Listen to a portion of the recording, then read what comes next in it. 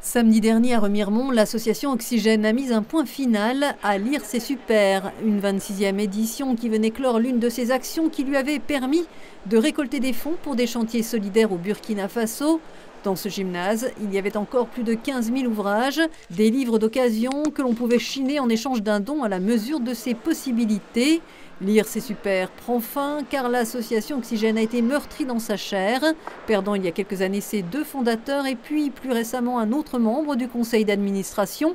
Les bénévoles sont venus à manquer, mais il reste ce bilan.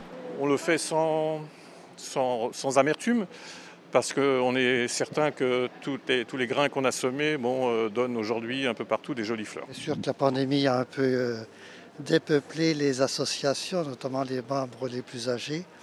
Et les jeunes ne sont pas venus non plus remplacer. Dommage que c'est la dernière.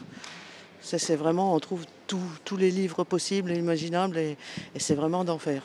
Oxygène continuera d'exister avec d'autres actions. Elle a également fait preuve de générosité en offrant le bénéfice de cette journée à une autre association partenaire, Asile Accueil, qui accompagne les migrants dans les Vosges.